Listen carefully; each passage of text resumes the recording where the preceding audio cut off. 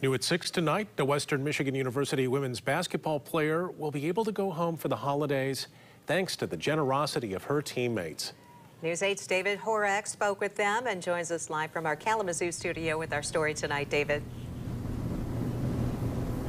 Sue and Brian, this came as a complete surprise for Artemis Kuki, who came to Kalamazoo as an international recruit and simply fell in love with her new home from almost half across the world.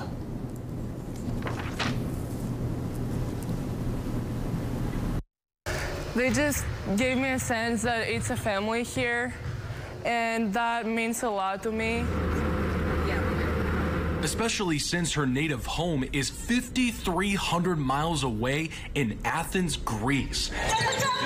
But last month, it became clear to her that she might not be able to visit her parents and older sister for the holidays.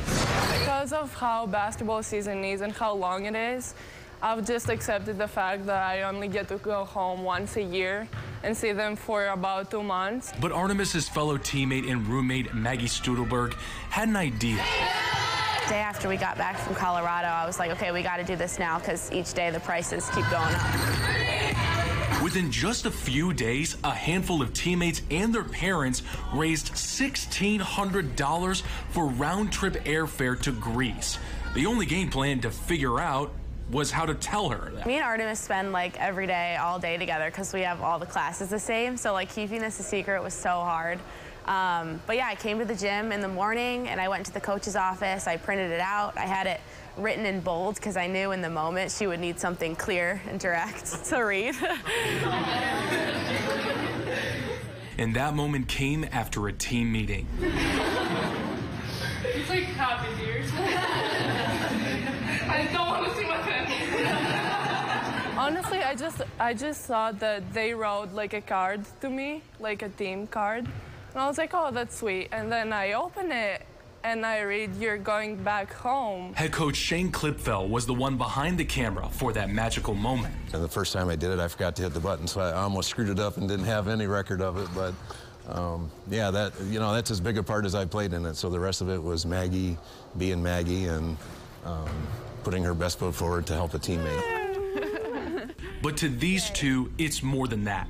That family matters, no matter the bloodline. It's so unique we get to be put in a situation like this where we all were strangers like two year year and a half ago and we've all just become sisters. We spend every day together and it was just such a special moment that I'll always remember.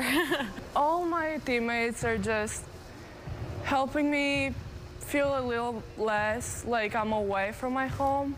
They're all doing things for me, small or big, that mean so much to me. And every day, the first thing I think is how grateful I am to have such teammates and coaches around me.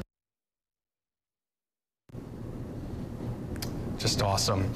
Four games left until the holiday break for the Broncos, and then Artemis will head home to see her family. Sue and Brian, what makes this come full circle is that her ride to the airport when she heads home is the mastermind behind this act of love, Maggie Studelberg. Oh, fantastic. Yeah, what a yeah, great, great story. gift. Thanks, David. Thank you, David.